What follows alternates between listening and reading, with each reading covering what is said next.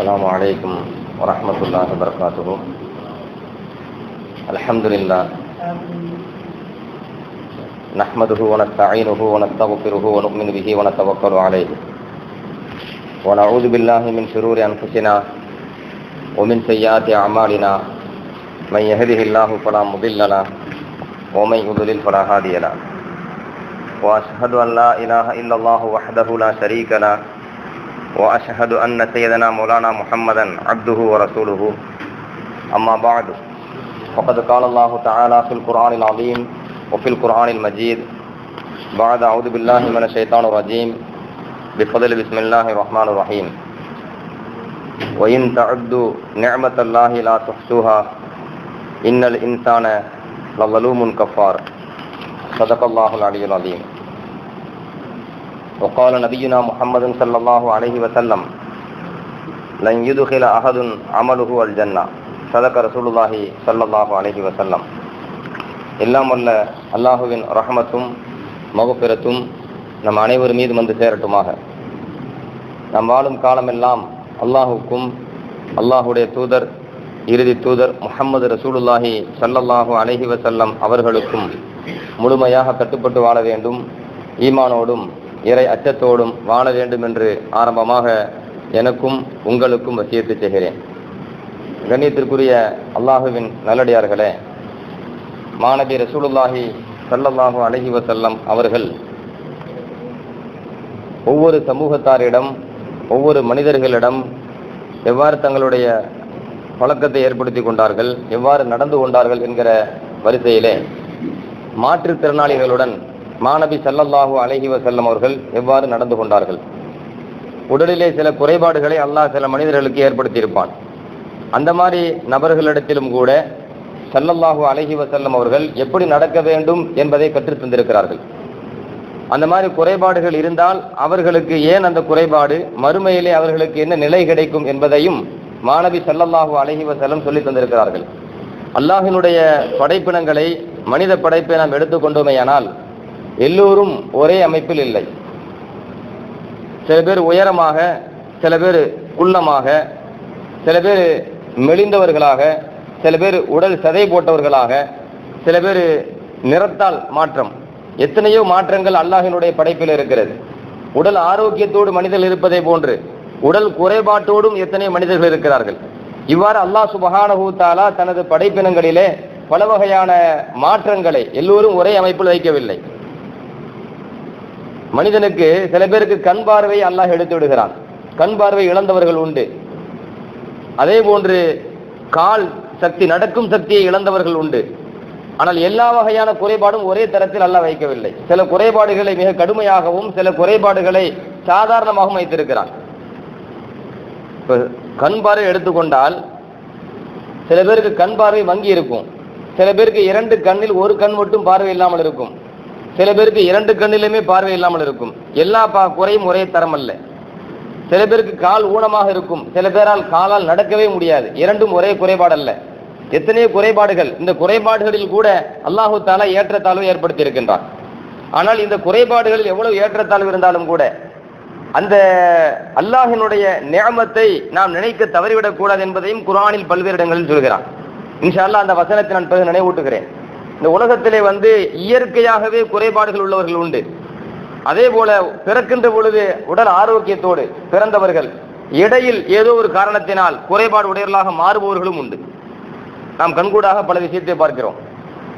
இயற்கையாக குறைபாடுகள் இருக்குமேயானால் அந்த குறைபாடு வந்து நாம் தவறாக எண்ணிவிடக்கூடாது. அல்லாஹ் அவர்கள் மீது கோபத்தில் இருந்தான். அதனை எனவே அல்லாஹ் என்ன செஞ்சிட்டா? அந்த மாதிரி குறை குறைபாட்டோடு இந்த உலகத்திலே பிறக்க வைத்து விட்டான் படைத்து விட்டான் என்று நினைத்து விடக்கூடாது. இறைவன் பிறக்கின்ற பொழுதே ஒரு மனிதனுக்கு குறைபாட்டோடு பிறக்க செய்கிறான் என்று சொன்னால் அதற்கு பல்வேறு காரணங்கள் உண்டு. ஹதீஸ்களை வல்லுநர்கள் சொல்லுவார்கள். அதுல சில காரணங்கள் முக்கிய காரணங்கள் என்னவென்றால் ஒன்று அவர்களுக்கு அல்லாஹ் சுபஹானஹூ இந்த உலகத்திலே அந்த பார்வையை கொடுத்தாலோ அல்லது செவிப்புலனை கொடுத்தாலோ அதன் மூலமாக அதிக பாவம் செய்து நாளைக்கு மறுமையிலே அவர்கள் பெரும் பாவிகளாக வந்துவிடக் கூடாது என்பதற்காக அவர்கள் மீது கருணையின் அடிப்படையில் கூட அல்லாஹ் அந்த குறைபாடுகளை ஏற்படுத்தியிருக்கலாம். சில அறிஞர்கள் விளக்கம் சொல்லுவாங்க. அதே மாதிரி இன்னொரு விளக்கம் சொல்லுவாங்க. இந்த உலகத்தை விட இந்த உலகத்திலே அவர்கள் வந்து பல கஷ்டங்களை அனுபவிக்கிறார்கள். ஆனால் அதே நேரத்திலே அந்த கஷ்டங்களுக்கு பகரமாக நாளைக்கு மறுமையிலே அவர்களுக்கு மிக உயர்ந்த அந்தஸ்தை யாரும் நினைத்து பார்க்காத அந்தஸ்தை அல்லாஹ் அவர்களுக்கு வழங்க இருக்கிறான் என்பது கூட காரணமாக இருக்கலாம் என்பதை புராண ஹதீஸை ஆராய்ந்து பல அறிஞர்கள் விளக்கம் தருவார்கள்.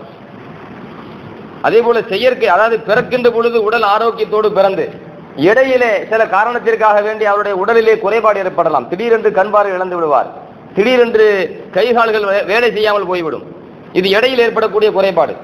இந்த இடையில் ஏற்படக்கூடிய குறைபாட்டுக்கு கூட பல காரணங்கள் இஸ்லாம் நமக்கு சொல்லித் தருகிறது. அதில் ஒன்று என்னவென்றால் அந்த அந்த அந்த குறைபாடு வரக்கூடியவர் நல்ல மூமினாக இருப்பாரையானால் ஒரு நல்ல மூமினாக இருந்து ஆபிதாக வணக்கசாலியாக இருந்து அவரிடத்தில் ஒரு குறைபாடு வருமையானால் அல்லாஹ் சுபஹானஹு தஆலா அந்த மனிதர் முற்காலத்தில் செய்திருந்த ஏதேனும் ஒரு குறைபாட்டிற்காக பாவத்திற்காக இந்த உலகத்திலேயே ஒரு தண்டனையை கொடுத்து நாளைக்கு மறுமையிலே பரிசுத்தவானாக தன்னை சந்திக்க வைப்பதற்காக அல்லாஹ் அந்த குறைபாடை கொடுத்திருக்கலாம். அதே சமயத்தில் பாவியாக இருப்பாரையானால் அந்த பாவத்திற்காக வேண்டி அவர் வருந்தக்கூடியவராக இருப்பாரையானால் இந்த உலகத்திலேயே அவர் பாவக்கரையை சுத்தமாக்க வேண்டும் என்பதற்காக என்பதற்காக கூட அல்லாஹு தாலா அந்த குறைபாடை கொடுக்க வாய்ப்பு இருக்கிறது. சில பேர் பாவம் செய்வார்கள். அந்த பாவத்திலேயே நிலைத்திருப்பார்கள். அந்த பாவத்தில் அழிச்சாட்டியத்தை இன்னும் அதிகப்படுத்திக் கொள்வார்கள் என்று சொன்னால் அவர்களுக்கு தண்டனையாக கூட அல்லாஹு தாலா அந்த குறைபாடை கொடுக்கலாம். சில சமயம் அவர் இன்னொரு மனிதருக்கு அநியாயம் செய்திருக்கலாம் துரோகம் செய்திருக்கலாம். அதனால் அவர் பாதிக்கப்பட்டு பாதிக்கப்பட்டதன் விளைவாக அவர் பத்துவா செய்திருக்கலாம். அந்த பத்துவாவின் விளைப்பாட விளைவாக கூட அவருக்கு அந்த குறைபாடு வந்திருக்கலாம். ஹதீஸில் வருது. முஸ்லீம் சரிப்பில் ஒரு ஹதீஸ் வருது. அதாவது அருவா பின் துவை என்கிற ஒரு பெண்மணி. அருவா பின் துவைஸ் என்கிற பெண்மணி சயீதிபுன் ஜெயிது ரதி அல்லாஹு அனுபவ அவர்கள் மீது ஒரு வழக்கு தொடுக்கிறாங்க. யாருடைய காலகட்டத்தில்? மருவான் புனு ஹக்கம் என்கிற ஆட்சியாளருடைய காலகட்டத்தில் சயீதிபுன் ஜெயிது ரதி ரலியல்லாஹு என்கிற சஹாபியின் மீது அவர் வழக்கு தொடுக்கிறார் அந்த பெண்மணி. என்ன வழக்கு தொடுக்கிறாங்க அப்படின்னு சொன்னால் இந்த சயீத் அவர்கள் எனது நிலத்தில் ஒரு பகுதியை அபகரித்து விட்டார். எனது நிலத்தில் ஒரு பகுதியை இந்த சயீத் அவர்கள் அபகரித்து விட்டார்கள் அப்படின்னு சொல்லி ஒரு வழக்கு. அந்த வழக்கு யாரிடத்தில் போகிறது? மர்வான் ஹக்கம் என்கிற ஆட்சியாளர். அந்த மர்- ஹக்கம் என்கிற ஆட்சியாளர் அந்த சஹாபியை அழைக்கிறார்கள். அழைத்து உங்கள் மீது இந்த வழக்கு வந்திருக்கிறது என்று அந்த சஹாபியிடம் சொன்ன பொழுது உடனே அந்த சஹாபி சொன்னார் அன குந்து ஆகுது மின் அருளிஹா செய்யன் பதல்லதி சமீபத்து மின் ரசூலில்லாஹி சல்லல்லாஹு அலைஹி செல்லம் அல்லாஹுவின் தூதர் சல்லல்லாஹு அலைஹி செல்லம் அவர்களிடமிருந்து ஒரு ஹதீஸை நான் கேட்ட பின்பும் இந்த பெண்மணியினுடைய நிலத்திலிருந்து ஒரு பகுதியை நான் அபகரிப்பேனா?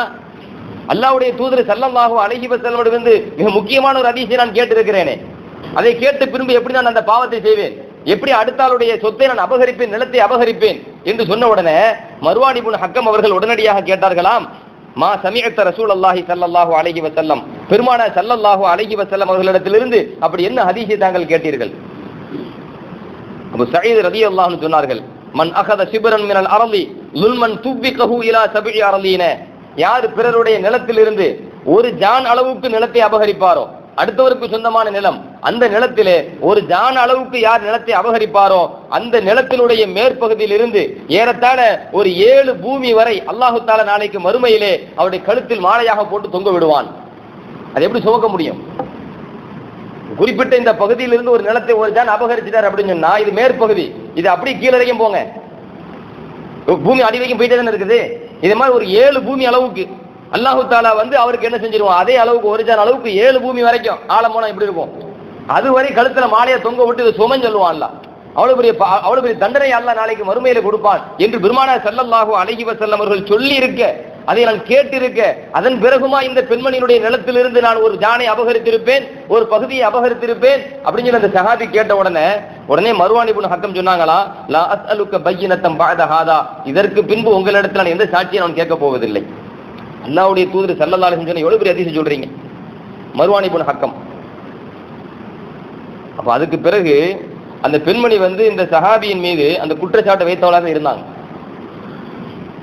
அருவா என்கிற பெண்மணி. அதனால அந்த சஹாபி ரொம்ப மன வருத்தப்பட்டாங்க.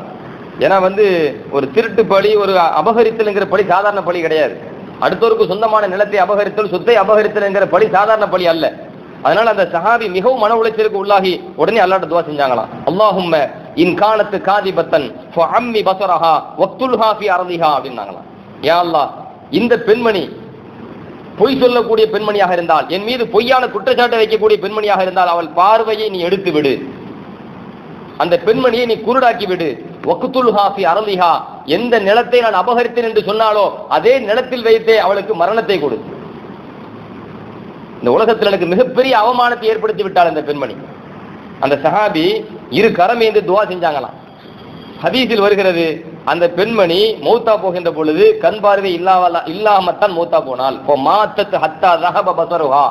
தன் பார்வையை இழந்த நிலையில் தான் அந்த பெண் மரணித்தாள். அதுவும் எப்படி மரணித்தாள் தெரியுமா? ஹதீஸில் வருகிறது. ஹிய தம்சி ஃபி அர்திஹா இது வக்காத்து ஃபி ஹுஃப்ரத்தின் ஃபோ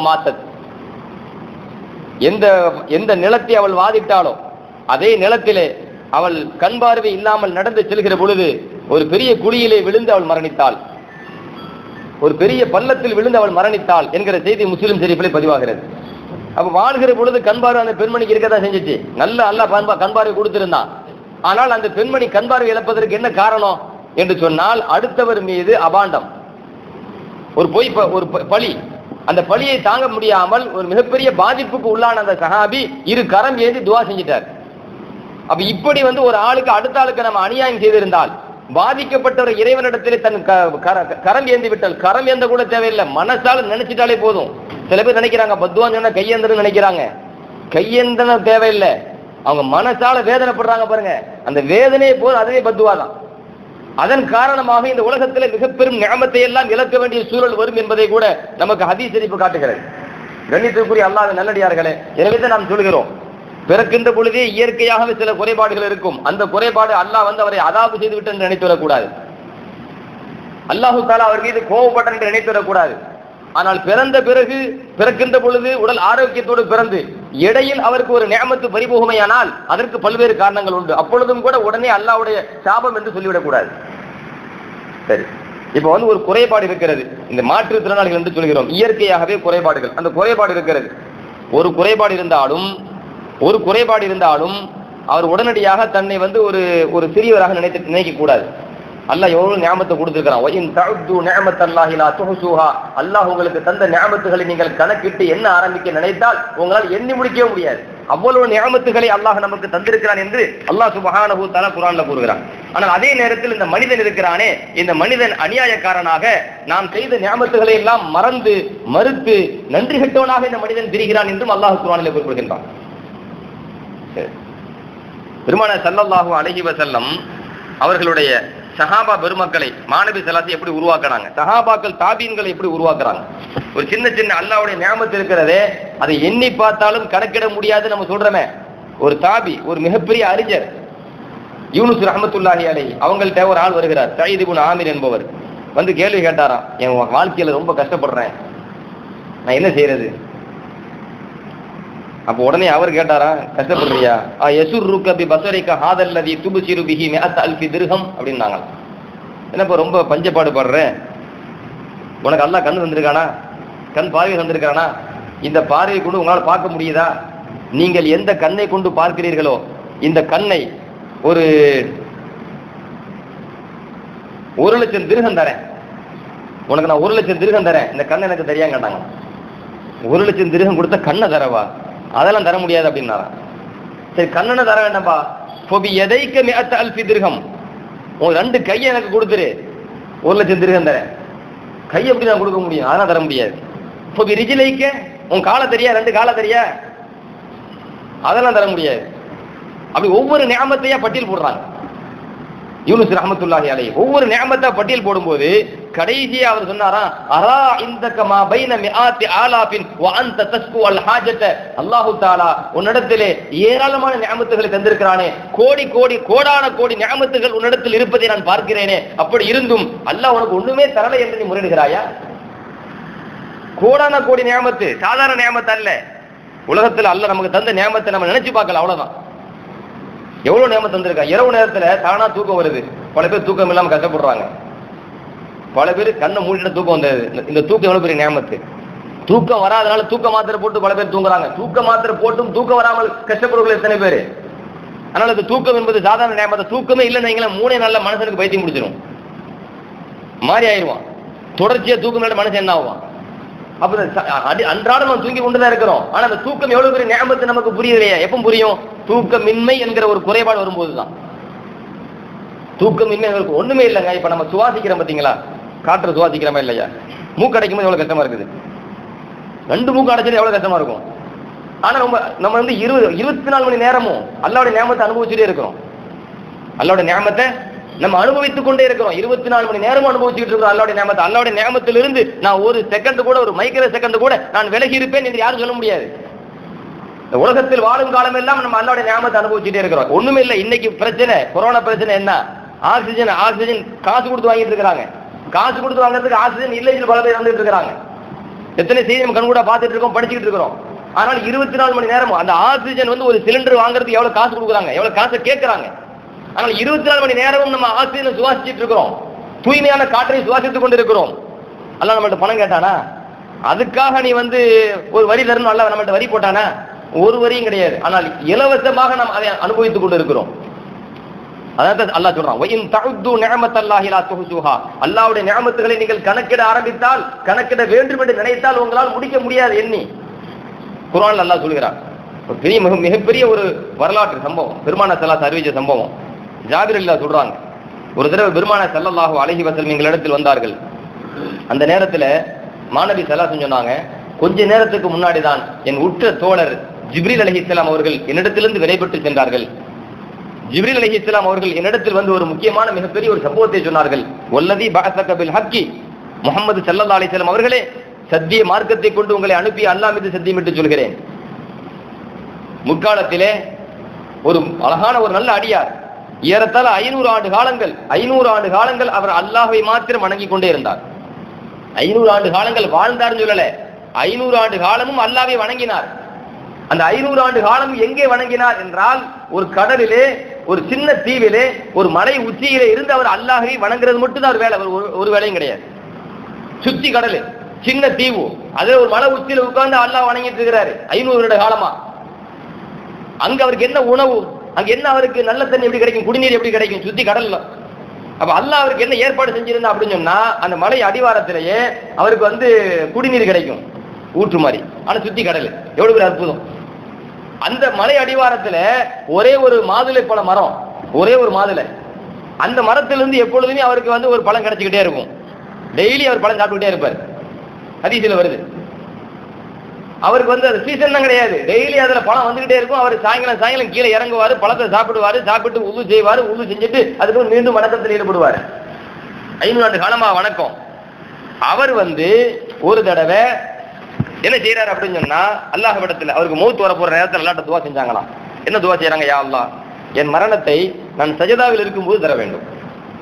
ஒன்று ரெண்டாவது கியாமத்து நாள் வரைக்கும் உலகம் அழிய போற வரைக்கும் என் உடலை இந்த பூமி என்ன செஞ்சிடக்கூடாது அரிச்சிடக்கூடாது.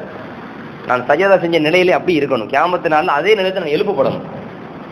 அந்த ரெண்டு துவா அல்லாட செய்யறாரு அல்லா சுபஹான பூத்தால் அதை நிறைவேற்றி கொடுத்தான்.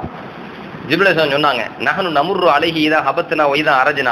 நாங்கள் எப்பொழுதெல்லாம் பூமிக்கு வருவோமோ இந்த பூமியை விட்டு மேலே போவோமோ அப்பொழுதெல்லாம் அவரை கடந்து தான் நாங்கள் வருவோம் அவரை- அவரை கடந்து நாங்கள் மேலே போவோம். எப்போ அவரை பார்த்துட்டு இருக்கிறோம்? இவரை பத்தி மறுமையில ஒரு செய்தி எங்களுக்கு தெரியும். இவருடைய நிலைமை என்னன்னு. மறுமையில இவருடைய நிலைமை என்னன்னு எங்களுக்கு தெரியும். மறுமையில அல்லாஹ் சுபஹானஹு தஆலா அந்த அடியாரை கூப்பிட்டு சொல்லுவானா அது ஹிலு அபுதி அல் ஜன்னத்தை பி ரஹமதி. மலக்குமார்களே இதோ எனது நல்ல அடியார் இவரை எனது ரஹமத்தால் சொர்க்கத்துக்குள்ள அனுப்புங்க அப்படின்னு அல்லாஹ் சொல்லுவானா.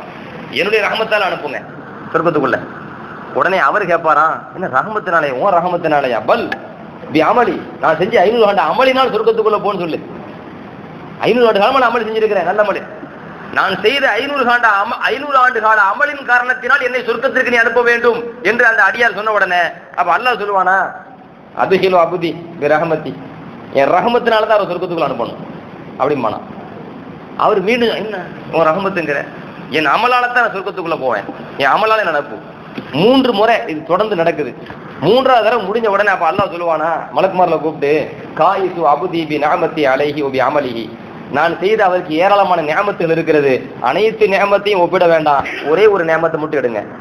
அவர் ஐநூறு ஆண்டு காலம் அமல் செஞ்சாரு அந்த அமலை எடுங்க. இரண்டையும் ஒப்பிட்டு காட்டுங்க. எது பெருசு நான் பார்க்கட்டும். என்னுடைய நியமத்து பெருசா அவர் செஞ்ச அமல் பெருசா ஒப்பிட்டு காட்டுங்க. ஐநூறு ஆண்டு கால அமல். இப்போ ஒ- ஒரே ஒரு நியமத்தை தேர்வு செய்யணும். எந்த நியமத்தை தேர்வு செய்யறது? மலக்குமார்கள் எதை தேர்வு செஞ்சாங்க அப்படின்னு சொன்னா அவருடைய கண் பார்வை. அல்ல கண்ணை கொடுத்தான்ல. அதுல பார்வை கொடுத்தான்ல. அந்த கண் பார்வை என்கிற நியமத்தை தேர்வு செஞ்சாங்களாம். அதை சேவு செஞ்சு அந்த அவருடைய ஐநூறு ஆண்டு அமல் இந்த கண் பாருங்கிற ஒரே நேமத்து இந்த இரண்டையும் அவரிடத்தில் ஒப்பிட்டு காட்டுகிற பொழுது இந்த கண் என்கிற அந்த ஒரு நேமத்து ஐநூறு ஆண்டு கால அமலையும் தாண்டி நிக்குது. ஐநூறு ஆண்டு ஐநூறு ஆண்டு கால அமலையும் அது தாண்டி நிக்குது. திகச்சு போய் நிற்கிறார் ஒரே ஒரு நியமத்துங்க. நம்ம செய்கிற அத்தனை அமலும் ஒரு நியமத்துக்கு ஈடாகாது. அல்ல நமக்கு தந்த நியமத்துக்கு. ஒரே ஒரு நியமத்துக்கு கூட ஈடாகாது. ஐநூறு ஆண்டு கால அமலை அவர்கள் இடத்தில் எடுத்து காட்டப்பட்டு வேற பல அவருடைய அல்- க- கண் என்கிற நியமத்தை மட்டும் பார்வை என்கிற நியமத்தை மட்டும் எடுத்து காட்ட பொழுது அவருடைய அனைத்து அமலும் மூழ்கி போச்சு. எதுதான் மேல நிக்கிறது கண் பார்வை. இந்த ஊர் இதை தாண்டிய பல்ல எவன் நியமனம் செஞ்சிருக்கிறான்? அப்ப அதுக்கெல்லாம் எங்க அமலு? அதுக்கெல்லாம் எங்க அமலு? அப்போ அல்லாஹ் சொன்னானா இங்க வாங்க இவர் இழுத்து நரகத்துக்கு கூட்டு போங்கன்னானா. அவர் அமலால தானே போகணும்னு சொன்னாரு. அவர் அமலு நான் கொடுத்த கண் பார்வைக்கு முடிஞ்சு போச்சு. நான் இதுக்கு மேல நிறைய ஞாபகத்தை செஞ்சிருக்கிறேன். அந்த ஞாபகத்துக்கு எங்க அவர்கிட்ட அமல் இருக்கு? இல்லையே நரகத்துக்கு கூட்டு போங்கன்னானா அவர் நர- நரகத்துக்கு இழுத்து செல்லப்பட்டார். அப்படி இழுத்து செல்லப்படுகிற பொழுது அந்த நேரத்தில் அவர் அழுதுகிட்டு சொன்னாரா ரப்பி பி ரஹமத்திக்கு அதுகில் நீ அல் ஜன்னா என் இறைவா உனது ரஹமத்தால் என்னை சொர்க்கத்துக்கு அனுப்பு. அந்த அமலே இல்லை. உன் ரஹமத்தால் என்னை சொர்க்கத்திற்கு அனுப்பு அப்படின்னு சொன்ன உடனே அல்ல கூட்டு அவர் அவருங்க அனுப்புங்க ருத்துஹு. அவர் என்கிட்ட அனுப்புங்க. அவர் வந்துட்டாரு. அப்ப அல்ல கேட்டானா யாபுதி மண் ஹலக்கக்க உலம் தக்குன் செய்யா. என் அடி என் அடியாரே நீ ஒண்ணுமே இல்லை உலகத்துல. எதுவுமே இல்லாம இருக்கும்போது உன்னை படைச்சு உன்னை ஒரு ஒரு படைப்பா உன்னை கொண்டு வந்தது யார்? நம்ம பிறக்கிறதுக்கு முன்னாடி ஒண்ணுமே இல்லாதானங்க நம்ம பிறக்கிறதுக்கு முன்னாடி ஒண்ணுமே இல்லை தானே. தாயின் கருவறையில் இருந்தும் சொல்லக்கூடாது தாயின் கருவறைக்கு முன்னாடி தந்தையினுடைய முதுகந்தண்டுல இந்திரிய துளியாக இருக்கிறதுக்கு முன்னாடி ஒண்ணுமே இல்லை. ஒண்ணுமே இல்லாம நம்மளை தான் அல்ல நம்ம படைச்சு ஒரு செய்ய ஆக்கியிருக்கான் ஒரு படைப்பு ஆக்கியிருக்கான் ஒரு பொருள் ஆக்கியிருக்கிறான் இது உன் மூலமா நடந்துச்சா? இல்லை ரஹமத்தால் நடந்துச்சா? நல்லா கேட்டான். யாரெல்லாம் ஒரு ரஹமத்தால தான் அப்படின்னாங்களாம். சரி அதை விடு. மன் கவ்வாக்கல் இபாதத்தை ஹம்தி மேத்தி ஆம். ஐநூறு ஆண்டு கால அமல் செஞ்சேன் அமல் செஞ்சேன்னு சொல்றீங்களே அந்த இபாதத்து செய்வதற்கு உனக்கு சக்தி தந்தது யார்? உன் உடலுக்கு பலம் தந்தது யார்? அந்த ரப்பி. ரப்பி நீதான். அப்படின்னாராம். நடுக்கடல்ல அலைகள் கொந்தளிக்கக்கூடிய அந்த கடல்ல ஒரு தீவுல ஒரு மலை உச்சியில உன்னை தன்னத்தனியாக வாழ வைத்து பாதுகாத்தது யார்? அப்படி நீதான். சுத்தி உப்பு நீர் இருக்கின்ற அந்த சமயத்தில் உனக்காக நான் தன்னந்தனியாக உனக்காக மாத்திரமே நான் நல்ல நீரை குடிநீரை தந்தேனா இல்லையா? தந்தது நான் தானே. வருடத்திற்கு ஒரு முறை தான் சீசன் மாதுளை பழத்திற்கு நான் டெய்லி உனக்கு பழம் தந்தனே. தந்தது யார்? நான் தானே. அவர் எல்லாத்துக்கும் அந்த ரப்பி அந்த ரப்பின்னு சொன்னாராம். அப்ப எல்லாம் என் ரகமத்து தானே? எல்லாம் என் ரகமத்தினால அவலத்தை அனுபவிச்ச பிறகு என் ரஹமத்தால சொர்க்கத்துக்குள்ள போ அப்படின்னு சொன்னா ஓ அமலால போன்னு சொல்றியாப்பா. அப்பதான் அது ரஹமத்துனா என்ன நிலங்குறாரு நம்ம ரயால்லா உன்னுடைய ரஹமத்தால் உன்னுடைய ரஹமத்தை நிறைய பேசுறோம். ரஹமத்துனா என்ன என்பது அப்பதான் அவர் புரியாரு அதற்கு பிறகு அல்லாஹ் சுப்ஹானஹு தஆலா சொன்னானாம் ஃபதாலிக பிரஹமதி வ பிரஹமதி உத்கிலுக அல் ஜன்னா உனக்கு கிடைத்த அனைத்துமே நீ உட்பட உனக்கு கிடைத்த அனைத்துமே எனது ரஹமத்தால தான் வந்தது. அதனால் தான் சொல்கிறேன் என் ரஹமத்தால் நீ சொர்க்கத்துக்குள்ள போ. அதுக்கு பிறகு போனாராம். அதுக்கு பிறகு ஜிபிலசான் சொன்னாங்களாம் இன்னமல் அசியா பி ரஹமத்தில்லா இன்னமல் அசியா பி ரஹமத்தில்லா யா முஹம்மது சல்லாஹூ அலஹி வசல்லம் புகழுக்கு சொந்தக்காரர் அவர்களே உலகத்தில் உள்ள அனைத்து செய்திகளும் அனைத்து பொருட்களும் அனைத்து படப்பினங்களும் அல்லாஹுடைய அருளால் தான் இருக்கிறது.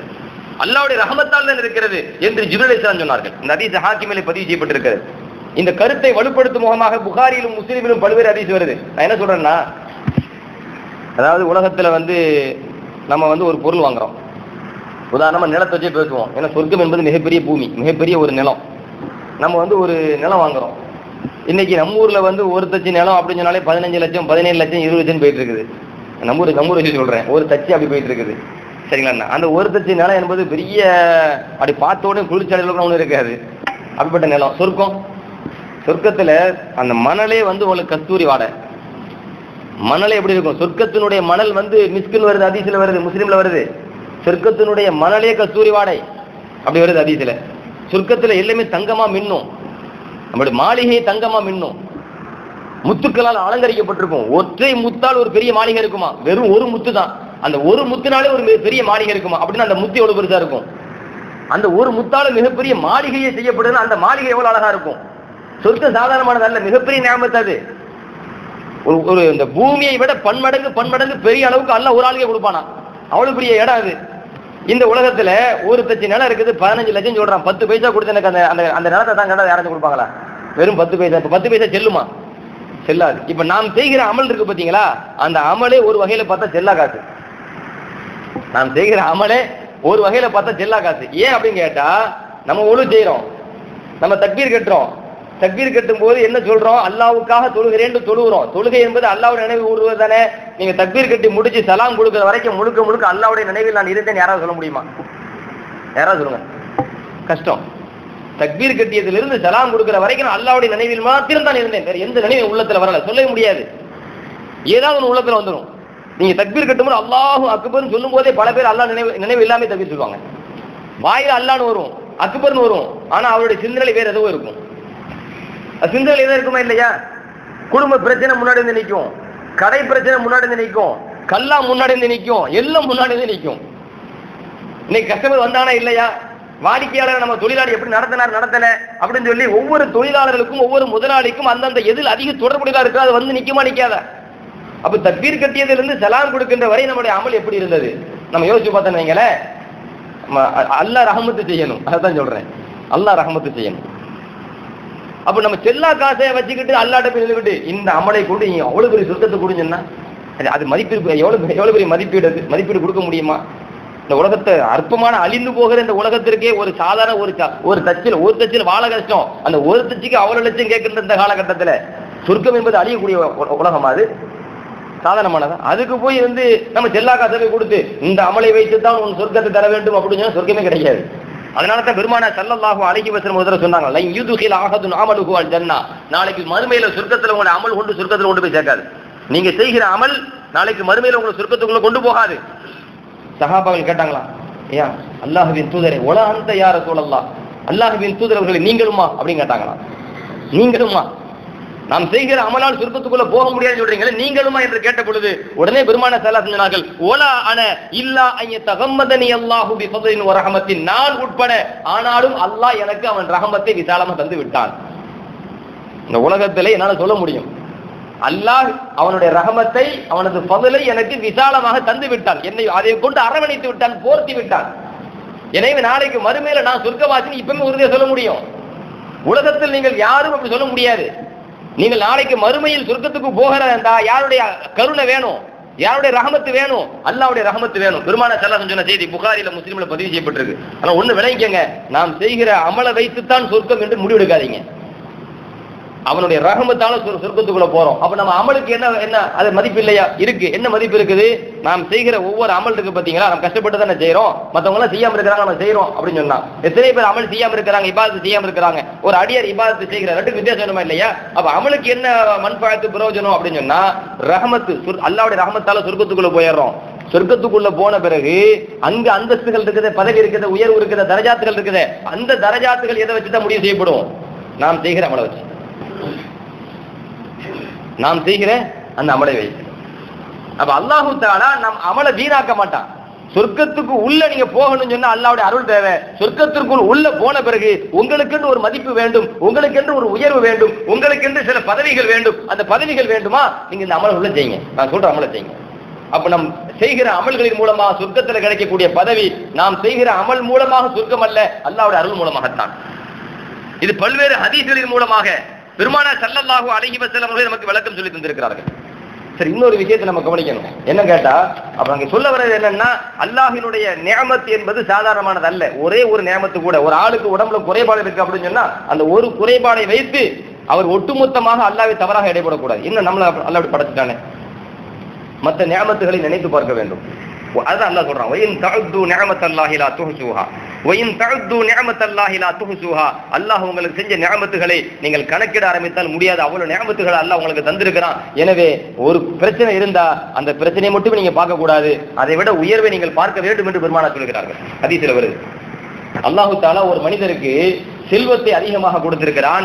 ஒரு மனிதருக்கு உடல் ஆரோக்கியத்தை உடலை அதிக நல்ல முறையில் கொடுத்திருக்கிறான் என்று சொன்னால் அதில் குறைபாடு உள்ளவர்கள் தனக்கு மேலே இருக்கக்கூடியவர்களை பார்க்க வேண்டாம் தனக்கு கீழே உள்ளவர்களை பாருங்கள் பெருமான செல்வாசன் சொல்றாங்க. புகார்ல வருது முஸ்லீம்ல வருது. ஒரு பெரிய செல்வந்தர் இருக்கிறார். ஒரு ஆள் ஏழையா இருக்கிறார். இந்த ஏழை வந்து யாரை பார்க்கணும்? செல்வந்தரை பார்க்கக்கூடாது அவரை பார்த்துட்டாரு அப்படின்னு சொன்னா இவர் வந்து அல்லாஹ் அல்லாஹ் தானே செஞ்ச ஞாபகத்திற்கு மனசுல தெரியாது. அல்லாஹ் தனக்கு செஞ்ச நேமத்தை அவருக்கு அற்பமா நினைச்சோம் அது சல்லாசமே சொல்றாங்க. நீங்க நீங்க மேல பாத்தீங்க அப்படின்னு சொன்னா அல்லாஹ் உங்களுக்கு செஞ்ச நேமத்தை அற்பமா நினைப்பீங்க.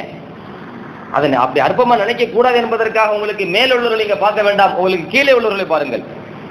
அப்ப நமக்கு கீழே உள்ளவங்க எத்தனை பேர் கஷ்டப்படுறாங்க? நம்ம விட பயங்க- பயங்கரமா கஷ்டப்படுவாங்க. அப்பா அவங்கள விட அல்லாஹ் நம்ம நல்லா வச்சிருக்கிறானே. அல்ல எவ்வளவு நேமத்து செஞ்சிருக்கான். அப்ப அல்லாஹ் நமக்கு பெரிய நேமத்து செஞ்சிருக்கான்னு எப்ப தெரியும்? நமக்கு கீழே உள்ளவங்களை பார்க்கும்போது.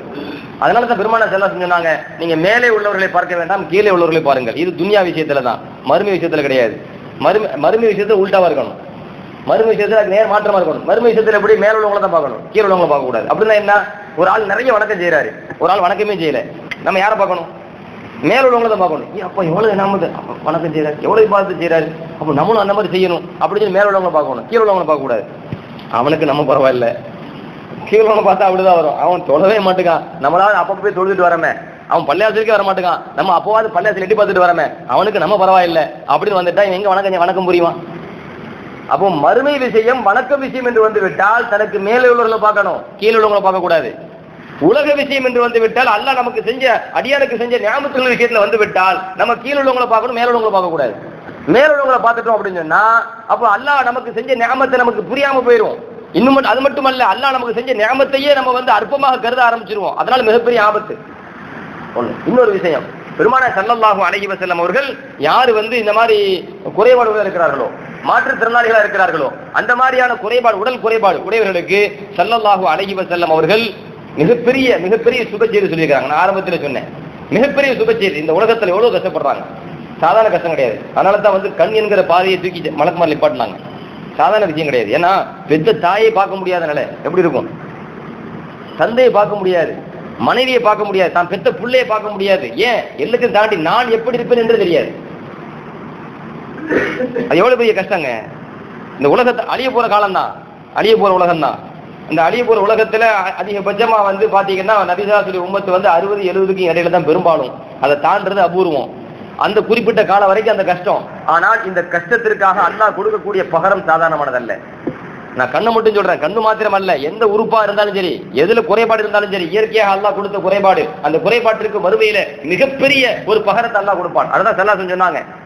இன்னல்லாஹ் தாலா கால் இதபு தலைத்து அபுதீபி ஹபீபத்தைஹி ஃபஸபர அவ்வல்துஹு மின்ஹுமால் ஜன்னா அல்லாவே சொல்றானா நான் எனது அடியானை அவன் அவனுக்கு மிக பிடித்தமான அவனுக்கு மிக பிடித்தமான இரு கண்களை பறித்து அதன் மூலமாக சோதனை செய்து விட்டால் அவன் கண் பார்வையை நான் பறித்து விட்டால் அவன் கண் பார்வை நான் இழக்க செய்து விட்டால் அதன் மூலமாக நான் அவனுக்கு சோதனை கொடுத்தால் அந்த சோதனையிலே அந்த அடியான் பொறுமை காத்தால் அவ்வள் துகு மின்ஹுமால் ஜன்னா அந்த இரண்டு கண்ணுக்கு பகரமாக நாளைக்கு மறுமையிலே அந்த மனிதனுக்கு மகத்தான சொர்க்கத்தை கொடுப்பேன். சொர்க்கத்தை அவருக்கு பகரமா தருவேன். திருமண செலவாகும் அழகி வசலம் இந்த சொல்றாங்க. புகாரில வருகிறது. இன்னும் பல்வேறு அதீச நூல்கள் வருகிறது. அப்ப இந்த உலகத்துல ஒரு மனிதனுக்கு வந்து அல்லாஹ் ஒரு குறைபாடை தந்திருந்தால் இயற்கையான ஒரு குறைபாட்டை தந்திருப்பானையானால் அந்த குறைபாட்டிலே அவன் பொறுமை காத்து விட்டால் அதற்காக மா- நாளைக்கு மறுமையில மிக உயர்ந்த சொர்க்கம் ஒரு கண் பார்வை இழந்தல் இழத்தல் என்பது உலகம் அழிய போறது தானே? மரணிக்கும் போது கண்ணு கண்ணுக்கு வேலை இல்லை தானே? அழிஞ்சிருமா இல்லையா? கண்ணு அழிஞ்சிருமா இல்லையா? ஆனால் அதுக்காக அல்ல எதை பகரமா தர அழியாத ஒன்றை பகரமா தருகிறான். சொர்க்கத்தை பகரமாக தருகிறான். அந்த சொர்க்கத்துல உயர்ந்த பதவியை அல்லா அவருக்கு பகரமாக தருகிறான் என்று பெருமான செல்லா சொல்கிறார்கள் என்றால் இந்த உலகத்திலே ஒரு மனிதனுக்கு இயற்கையான குறைபாடு வறுமையானால் அந்த குறைபாடு உடையவர்களுக்கு மாணவி செல்லா சொல்கிறார்கள் மறுமையில் உங்களுக்கு கிடைக்கக்கூடிய அந்தஸ்து என்ன? ரதீசில் வருது. இபுன் அப்பாஸ் ரதி அல்லாஹனுமா சொல்லுவாங்க. அவருடைய மாணவர் அத்வா இபுன் அபி ரபாஹ் ரஹமத்துல்லாட்ட சொல்லுவாங்களாம். அருமை மாணவரே அலா உரிக்க இம்ரா மின் அஹ்லில் ஜன்னா? சுவனத் பெண்மணியை நான் உங்களுக்கு காட்டட்டுமா? அப்படின்னு கேட்டாங்களாம். சுவனத்து பெண்மணி உங்களுக்கு காட்டட்டுமான்னு கேட்டாங்களாம். எப்படி இருக்கும்? இந்த உலகத்துல இவர் தான் சோனவாசி இவர் தான் நரகவாசி நம்ம சொல்ல முடியுமா? இபுன் அப்பாஸ் எல்லாம் சொன்னாங்க நான் ஒரு சோழ பெண்மணி உனக்கு காட்டட்டுமா? ஆ போடா உடனே காட்டுங்களேன் அப்படின்னாங்களாம். அப்போ அந்த அந்த பக்கம் ஒரு பெண்மணி வராங்க வயசான பெண்மணி. ஹாதிகில் மர் அத்து சௌதா அப்படின்னாங்களாம். இதோ இந்த கருப்பின பெண்மணி தான் சொர்க்கத்து பெண்மணி அப்படின்னாங்க. ஒரு கருப்பின பெண்மணி வராங்க வயசான பெண்மணி. அந்த பெண்மணியை சுட்டி காட்ட சொல்றாங்க ஹாதிகில் மர் அத்து சௌதா இந்த கருப்பின பெண்மணி தான் சிவனத்து பெண்மணி. இதை நானா சொல்லலை. இந்த பெண்மணி பெருமானா சல்லல்லாஹு அலைஹி செல்லம் காலகட்டத்திலே மாணவி சல்லல்லாஹு அலைஹி வஸல்லம் வந்தார்கள். அல்லாஹுவின் தூதர் அவர்களே இன்னி ஊசுரவு வ இன்னி கஷ்டப்பு எனக்கு வலிப்பு நோய் அடிக்கடி ஏற்படுகிறது. அதனால் என் ஆடை விலகுகிறது. வலிப்பு நோய். என் ஆடை விலகும். வலிப்பு வந்து ஆடை விலகுமா இல்லையா? கைகால் உதறும். ஆடை விலகும். அவங்க சொல்றாங்க எனக்கு வலிப்பு நோய் அடிக்கடி ஏற்படுகிறது. அதனால் எனது ஆடை விலகுகிறது. பதுவுல்லாஹலி என் நோய் குணமடைவதற்காக அல்லாவிடம் துவா செய்யுங்கள். எனக்காக துவா செய்யுங்க. அப்போ சல்லா சொன்னாங்க. இது வந்து அல்லாஹ் வந்து அந்த அந்த கொடுக்குற நோய் அது. நோய் வந்து அல்லாஹ் கொடுக்குறது தானே. அப்போ சல்லா சொன்னாங்கன்னா இன் சிறுத்தி சபர்த்தி உலக்கி அல் ஜன்னா. நீங்கள் நாடினால் பொறுமையாக இருந்து கொள்ளுங்கள். நீங்கள் பொறுமையாக இருந்தால் உங்களுக்கு மறுமையில சொர்க்கம் கிடைக்கும். இந்த வார்த்தை சொல்றாங்க. இந்த உலகத்தில் அல்லாஹ் நமக்கு ஒரு குறைபாடு தருகிறான் என்று சொன்னால் அந்த குறைபாட்டிற்காக நாளைக்கு மறுமையில நம்ம பொறுமையாக என்ன கிடைக்கும்? சொர்க்கம் கிடைக்கும். அதான் செலவு சொன்னாங்க. இன் சிறுத்தி சபருத்தி உலக்கி அல் ஜன்னா. நீங்கள் நாடினால் பொறுமையாக இருங்கள். அவ்வாறு பொறுமையாக இருந்தால் நாளைக்கு மறுமையிலே உங்களுக்கு சொர்க்கம் கிடைக்கும். ஒயின் சிறுத்தி தஅவுத்துல்லாஹ அன் அதே நேரத்திலே நீங்கள் விரும்பினால் ஆரோக்கியம் தான் கிடைக்க வேண்டும் என்று நாடினால் உங்களுக்கு ஆபியத்து கிடைப்பதற்காக ஆரோக்கியம் கிடைப்பதற்காக நல்ல அல்லாவிடம் துவா செய்கிறேன். எது வேணும்? சொர்க்கம் வேணுமா? என்னுடைய துவா துவாயின் மூலமாக உடல் ஆரோக்கியம் வேணுமா? சொர்க்கம் வேணுமா? என் துவாவின் மூலமாக உங்களுக்கு உடல் ஆரோக்கியம் வேண்டுமா? ரெண்டு தான். உடனே அந்த பெண்மணி பார்த்தாங்க உலகத்துல வாழ போறது கொஞ்ச நாள். உலகம் அழிய போற உலகம். இதுல அல்லாஹ் நமக்கு தந்த இந்த குறைபாட்டுல நம்ம பொறுமையா இருந்துட்டோம் அப்படின்னு சொன்னா மறுபடியும் நமக்கு என்ன கிடைக்க போகுது? அழியாத சொர்க்கம் கிடைக்க போகுது. விசாலமான சொர்க்கம் கிடைக்க போகுது. அந்த சொர்க்கம் கிடைக்கணும்னு சொன்னாலே அல்லாவோட பொருத்தமும் வேணும். அப்ப சொர்க்கத்துக்குள்ள போறாங்க அல்லாவோட பொருத்தமும் சேர்த்து கிடைக்குமா இல்லையா? அப்ப அதுதானே பெஸ்ட் அதுதானே சிறப்பு. உடனே அவங்க சொன்னாங்களா அஸ்பீரு அப்படின்னாங்களாம். நபியே நான் பொறுமையாகவே இருக்கிறேன் அப்படின்னாங்க நான் பொறுமையா இருக்கேன். அப்ப கடைசி ஒரு வார்த்தையும் சொல்றாங்க. அது முஸ்லிம் முஸ்லிம் பெண்மணிகள் தாய்மார்கள் கவனிக்க வேண்டிய விஷயம். கடைசி அந்த பெண்மணி சொன்னாங்களா அல்லாவின் தூதரே எனக்கு வலிப்பு நோயா வரட்டும் நான் பொறுமையாக இருந்து கொள்கிறேன். ஆனால் அதே நேரத்தில் இன்னி அத்த கஷ்டப்பூ எனக்கு அடிக்கடி அந்த வலிப்பு நோய் வருகிற பொழுது உடலில் இருந்து ஆடை விலகுகிறது. அந்த ஆடை விலகக்கூடாது அதுக்காண்டி துவா செய்யுங்க அல்லாஹ் அத்த கஷ்டம் என் ஆடை என் உடம்பிலிருந்து விலகக்கூடாது என்பதற்காக நீங்கள் அல்லாஹ்விடம் துவா செய்யுங்கள் என்று அந்த பெண்மணி சொன்ன பொழுது பெருமான ஸல்லல்லாஹு அழகிவ செல்லம் அந்த பெண்மணியுடைய ஆடை விலகக்கூடாது என்பதற்காக துவா செய்தார்கள். எனவே அந்த பெண்மணிக்கு வலிப்பு வந்தால் ஆடை விலகாது. ஆடை உடம்புல இருக்கும். ஏன் சொல்றேன்னா அதாவது ஒரு நோய்ங்க வலிப்பு நோயில தன்னிலை மறக்கக்கூடிய அந்த நேரத்துல நாம் எந்த நிலையில் இருக்கிறோம் என்பது கூட தெரியாத அந்த நேரத்துல அந்த நேரத்திலும் தன் உடம்பிலிருந்து ஆடை விலகி ஒரு ஆடவன் தன் உடம்பை பார்த்துவிடக் கூடாது என்பதற்காக ஒரு அந்நிய ஆண் தன் உடலை பார்த்துவிடக் கூடாது என்பதற்காக அந்த பெண்மணி அவ்வளவு எச்சரிக்கையோடு அந்த அந்த வார்த்தை சொல்கிறாள் என்றால் எந்த நோயும் இல்லாமல் ஆரோக்கியத்தில் இருக்கிற நாம் இன்று எந்த அடிப்படையில் நம்ம ஆடையை அமைத்துக் கொள்கிறோம்? அந்நிய ஆடவனை கவருகிற விதத்தில் நாம் எந்த அடிப்படையில் நடந்து கொள்கிறோம்? இன்றைய சமூகம் நினைத்து பார்க்க வேண்டும். பெருமான சல்லல்லாஹு அலைஹி செல்லும் காலகட்டத்து பெண்கள் நோயில இருந்தாலும் கூட தன்னிலை மறக்கக்கூடிய நிலையில் இருந்தாலும் கூட நாம் எந்த நிலையில் இருக்கிறோம் என்று தெரியாவிட்டாலும் கூட அப்பொழுதும் தன் உடல் முழுவதும் மறைக்கப்பட்டிருக்க வேண்டும் என்பதில் அக்கறை செலுத்தினார்கள். ரசூலுல்லாஹி சலாசம் துவா செஞ்சாங்க. இதை ஏன் நான் சொல்கிறேன் அப்படின்னு சொன்னா அதாவது அல்லாஹ் ஒரு மனிதனுக்கு உடல்ல குறைபாடு கொடுக்கிறான் என்றால் ஒரு மாற்றுத்திறனாளி நம்ம சொல்றோமா இல்லையா? ஒரு குறைபாடை கொடுக்கிறான் என்று சொன்னால் அந்த குறைபாட்டிற்கு மறுமையில என்னென்ன கிடைக்கும் என்பதை பெருமான சொல்லிவிட்டார்கள். ஒன்று. ரெண்டாவது இன்னொரு விஷயம் என்ன கேட்டா உலகத்திலே ஒரு மாற்றுத்திறனாளிகளிடத்திலே நாம் எப்படி நடந்து கொள்ள வேண்டும்? அவங்க அவங்க மனசை காயப்படுத்திடக்கூடாது அல்ல நமக்கு நியமத்தை தந்திருக்கான் என்பதற்காக வேண்டி ஒரு மனிதருக்கு அந்த நியாமத்து இல்லை என்பதற்காக வேண்டி அவர் மனசு புண்படும்படி நம்ம நடக்கக்கூடாது ஒரு மனிதர் கண் தெரியாதவராக இருக்கிறார் என்று சொன்னால் கண் பார்வை இழந்தவர் என்று சொல்ற வார்த்தை ஒன்று இருக்குது. குருடர் அப்படின்னு சொல்றது ஒன்று இருக்குது. ரெண்டு ஒன்று இல்லை. ரெண்டு வார்த்தையும் ஒன்னா கண் பார்வை இழந்தவர் அதுவும் ஒரே அர்த்தம் தான் குருடர் என்று சொன்னால் ஒரே அர்த்தம் தான் ஆனால் இந்த இரண்டும் நிகரான வார்த்தை அல்ல. கண் பார்வை இழந்தவர் என்று சொல்கிற பொழுது அந்த அளவுக்கு உள்ளத்தை பாதிக்காது. ஒரு குருடர் வராருப்பாரு அப்படின்னு உடல உள்ளத்தை பாதிக்கும். கால் ஊனமுற்றவர் என்று சொல்வது நொண்டி அப்படின்னு சொல்றது ரெண்டு ஒன்னா கால் ஊனமுற்றவர் என்று சொல்கிற பொழுது எதா- உள்ளதுக்கு அர்த்தம் அர்த்தம் ஒண்ணுதான். நொண்டி என்று சொன்னாலும் அர்த்தம் ஒண்ணுதான். ஆனால் இரண்டும் ஒரே தரத்துல உள்ளது அல்ல நீங்க நொண்டி என்று சொல்லும் போது அது உடல் அதிகமா மனசு அதிகமா பாதிக்கும். கால் ஊனமுற்றவர் சொல்லுவது அந்த அளவுக்கு பாதிக்காது. பெருமான ரசூலுல்லாஹி சல்லல்லாஹு அலைஹி வஸல்லம் அவர்கள் தங்களுடைய காலகட்டத்திலே மாற்றுத்திறனாளிகளிடத்திலே எந்த அளவுக்கு மென்மையான வார்த்தைகளை பயன்படுத்தி இருக்கிறார்கள் ஹதீஸ் சொல்கிறது ஜாபிரில் அறிவிக்கிறாங்க. ஒரு தடவை பெருமான செல்லல்லாஹு அழகி வசலம் எங்களிடம் சொன்னார்கள் இன் தலி பினா இன் தலி பினா இரல் பசீர் அல்லதி ஃபி பனி வாக்கிப் நவுதுஹு அப்படின்னாங்களாம். அருமை தோழர்களே வாருங்கள். பனு வாக்கிப் பனு வாக்கிப் என்கிற கூட்டத்தில் இருக்கக்கூடிய அந்த பார்வையாளரை பார்த்து விட்டு வருவோம். பனு வாக்கிப் என்கிற கூட்டத்தில் இருக்கிற அந்த பார்வையாளரை போய் நாம் நலம் விசாரித்து விட்டு வருவோம். வாருங்கள் அப்படின்னு பெருமானார் செல்லாசம் சொன்னாங்க. பார்வையாளர் என்று பெருமானார் யாரை சொன்னார்களோ அவர் உண்மையிலேயே கண் பார்வை தெரிந்தவர் அல்ல. ஒக்கான ரஜுலன் ஆமா அவர் கண் பார்வை இழந்த மனிதர். கண் பார்வை இழந்த மனிதரை நலம் விசாரிக்க செல்கிறார்கள் பெருமானா ஸல்லல்லாஹு செல்லம். அப்பொழுது தன் தோழர்களிடத்துல எப்படி சொல்றாங்க? வாங்க குருடரை போய் பார்த்துட்டு வருவோம். நலம் விசாரிச்சுட்டு வருவோம். அந்த வார்த்தையை சொல்லலை. மாணவி சொல்லாத எந்த வார்த்தையை பயன்படுத்துறாங்க? இன்தலை கூபினா இலல் பசீர் அந்த பார்வை உடையவரை போய் நாம் பார்த்து நலம் விசாரித்துட்டு வருவோம் பாருங்கள் ஒரு கண் பார்வை தெரியாத அளவு பார்வையாளர் சொன்னா பொய் இல்லையா? அப்படின்னு கேள்வி வரலாம். அதுதான் கண் பார்வை இல்லையா. அவர் போய் பார்வையாளர் அப்படின்னு சொன்னா அது பொய் இல்லையா அப்படின்ட்டு. பொய் கிடையாது. எந்த அர்த்தத்துல சல்லா சொல்றாங்கன்னா இஸ்லாத்தை பொறுத்த வரைக்கும் இந்த கண்ணால பாக்குறத பாத்தீங்களா அவருக்கும் பசீர் தான் பேரு. இந்த கண் என்ன வேலை செய்யணும் பார்க்கணும். அது பார்க்குது. அதனால பசீர் இந்த உள்ள இருக்கு பாத்தீங்களா இதயத்தை இதயம் இதயத்துல உள்ளம். இந்த உள்ளம் வந்து நல்லதையே சிந்தித்தால் அவருடைய உள் அது அவருக்கு பெரும் பசீர் தான். இந்த உள்ள நல்லதை சிந்திக்கணும். உலாக்கின் தாமல் குழு உள்ளத்துக்கு சுதூர் அல்லா குரான சொல்றானே. அவர்கள் வந்து குருட்டு பயங்கள்லாம் கிடையாது. அவங்க இதயம் இருக்கு பார்த்தீங்களா உள்ளத்தில் உள்ள இதயம் இருக்கு பார்த்தீங்களா அது குருடா போச்சு. நல்லதை சிந்திக்க மாட்டாங்க. நல்லது நினைச்சே பார்க்க மாட்டாங்க என்று அல்லா குரான்ல சொல்றானே. அப்ப இந்த இதயத்தை வைத்து நல்லதை நாம் நினைத்து பார்க்கின்ற பொழுது சிந்திக்கின்ற பொழுது அந்த சிந்தனையாளர்களுக்கும் அரபியில் என்ன சொல்லுவாங்க? பசீர். அகப்பார்வைன்னு சொல்றாங்கல்ல. உளப்பார்வைன்னு சொல்றாங்கல்ல. உளப்பார்வை. அப்ப பெருமான செல்லல்லாகும் அழகி வஸல்லம் அவர்கள் எப்படிப்பட்ட வார்த்தையை தேர்வு செய்யறாங்க பாருங்க.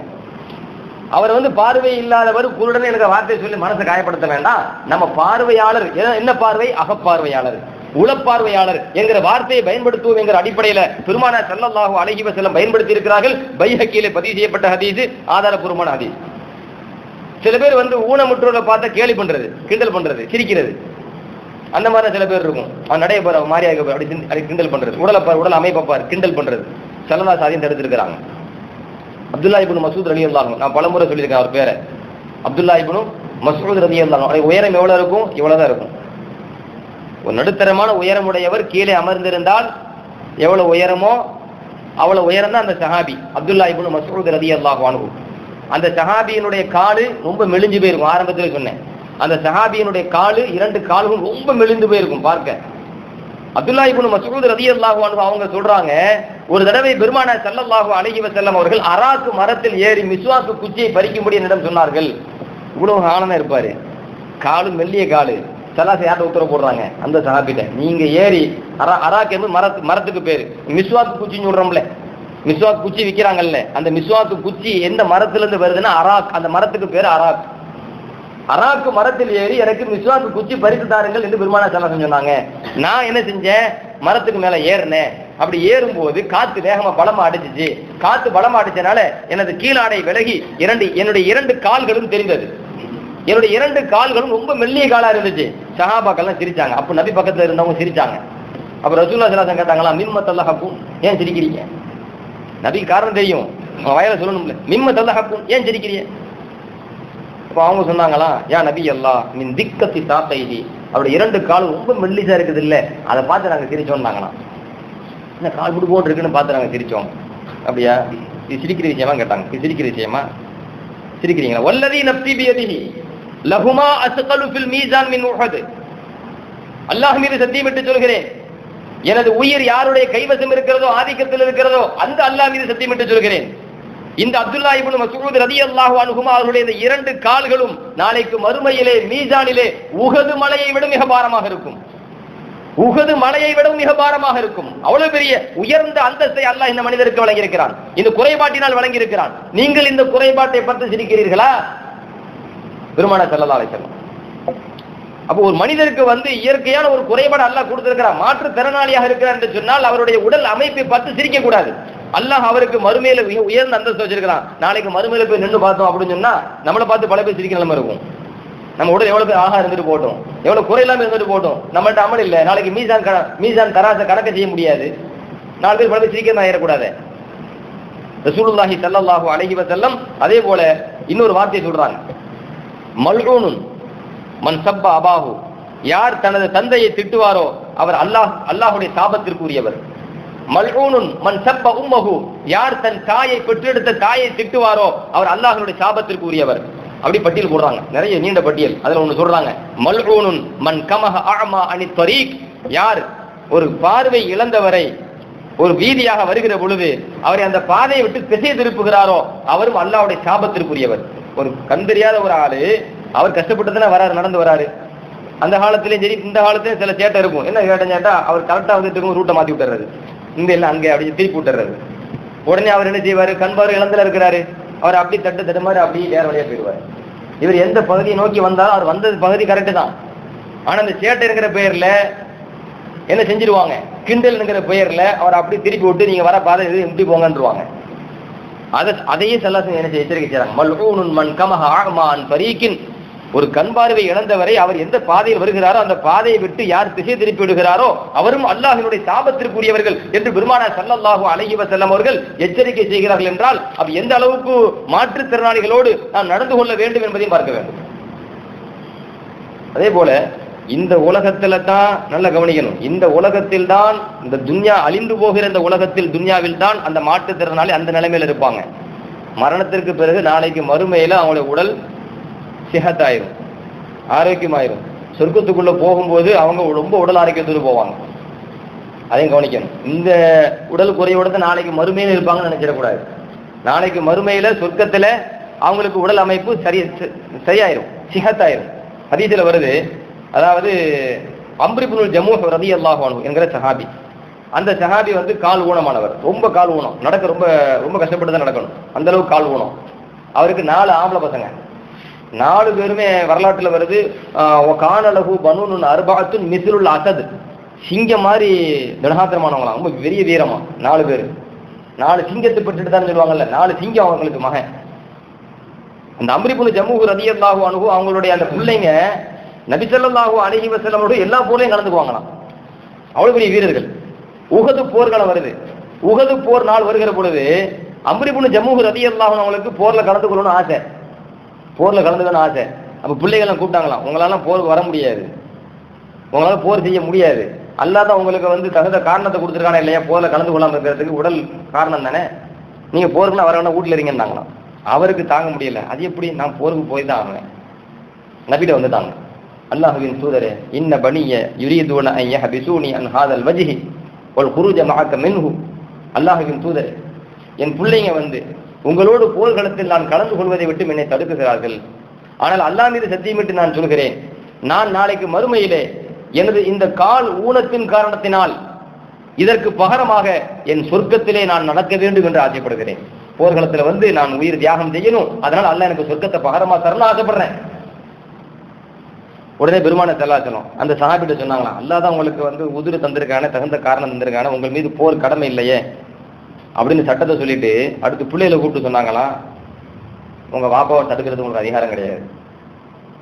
அவர் போர்க்களத்துல வரணும்னு விரும்பிட்டார். அல்லா உதிர் கொடுத்திருந்தாலும் தகுந்த காரணத்தை கொடுத்திருந்தாலும் அனுமதி கொடுத்திருந்தாலும் அவருக்கு ஆசை போர்ல கலந்துக்கணும்னு ஆசை.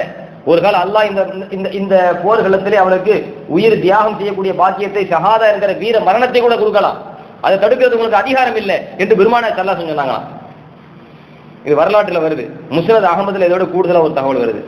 அம்பரிபுனு ஜம்மு அலி அல்லாஹ் கேட்டாங்களா அல்லாஹ் தூதரே நான் இந்த போர்க்களத்திலே கலந்து இந்த மார்க்கத்தை பாதுகாப்பதற்காக போர் செய்து நான் ஷஹீதாக்கி விட்டால் நான் ஷஹீதாகி விட்டால் ஹத்தா உக்குத்தல அம்சி பிரிஜிலி ஹாதிஹி ஜன்னா சொர்க்கத்திலே என்னுடைய இந்த கால் சரியான நிலையில் மாறி நான் சொர்க்கத்துக்குள் போய் வர நடப்பேனா?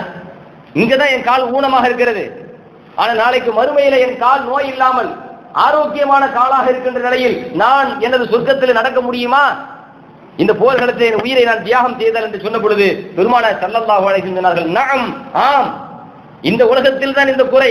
நாளைக்கு மறுமையில் அந்த குறை உங்களுக்கு இருக்காது. தாராளமாக நீங்கள் உடல் ஆரோக்கியத்தோடு தான் நீங்கள் சொர்க்கத்தில் நடமாடுவீர்கள் என்று சொன்ன பொழுது அவர் போருக்கு போனாராம் அந்த போர்ல அவர் சகிதாக்கப்படுகிறார் அவருடைய சகோதரனின் மகன் சகிதாக்கப்படுகிறார் அந்த இரண்டு பேருடைய அடிமைகளும் அதில் சகிதாக்க சகிதாக்கப்படுகிறார்கள் உயிர் தியாகம் செய்ய செய்கிறார்கள்.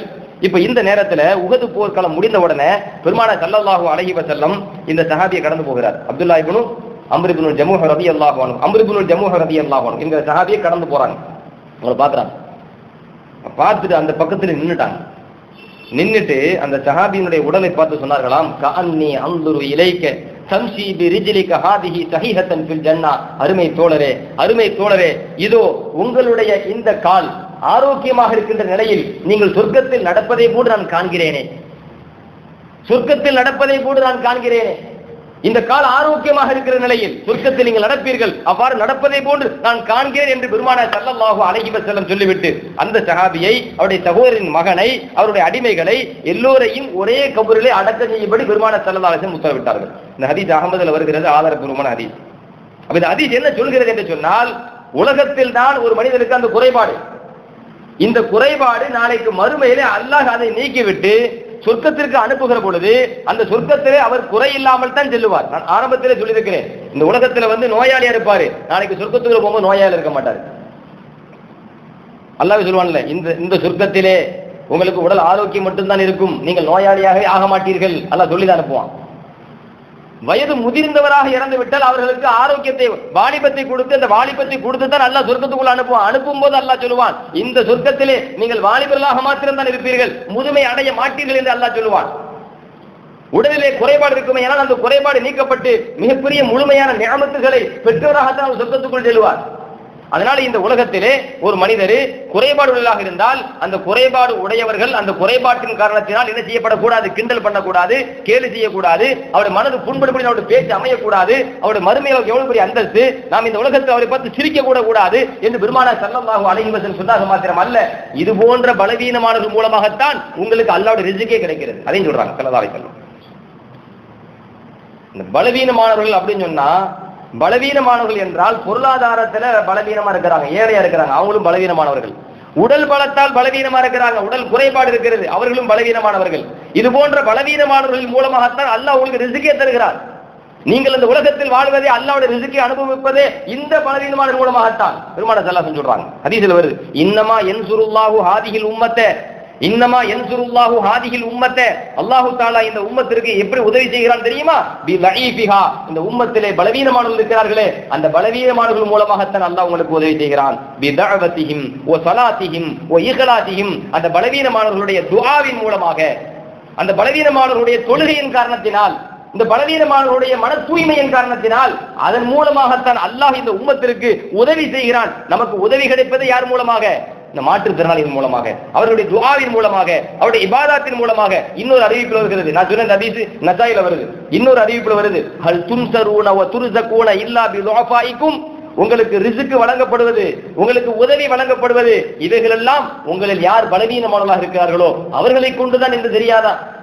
அவர்களை கொண்டுதானே என்று பெருமான செல்லமாக அலைஹி செல்லம் சொன்ன செய்தி புகாரில் பதிவு செய்யப்பட்டிருக்கிறது என்றால் அவர் சல்லல்லாஹு அழகிவ செல்லம் அவர்கள் இந்த பலவீனமானவர்களை இந்த மாற்றுத்திறனாளிகளை அவருடைய அந்தஸ்து அவர்களின் மூலமாக நமக்கு கிடைக்கக்கூடிய இறை உதவி ரிசுக்கு இதையும் இந்த உம்மத்து மறக்கக்கூடாது. இது தெரிஞ்சிட்டு சொன்னா கேள்வி பண்ணுவாங்களா?